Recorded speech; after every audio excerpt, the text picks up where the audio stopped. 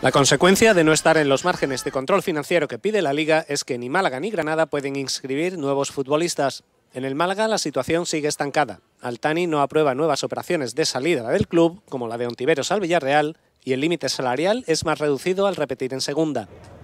En lo deportivo, ayer el equipo cayó 0-2 ante el Mallorca y Juancar lo valora así. Que es pretemporada y, y quedarnos pues con las buenas sensaciones que hemos generado en, en la primera parte y en, y en, parte de la segunda. Y yo creo que el equipo está, está cogiendo buenas sensaciones. En el Granada, este expediente es por problemas con los pagos al jugador colombiano Adrián Ramos.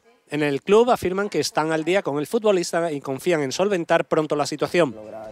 Hoy ha sido presentado el venezolano Machís en la que será su tercera etapa en el club. Estoy muy contento por, por la apuesta que está, haciendo el club por mí.